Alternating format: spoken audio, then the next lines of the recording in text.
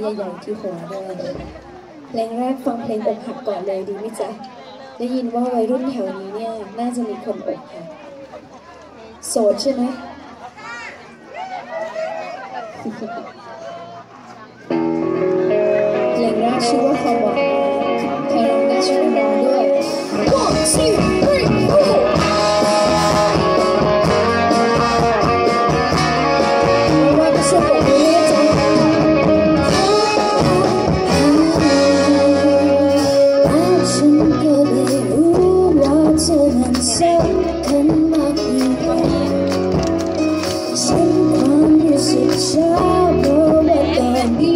ค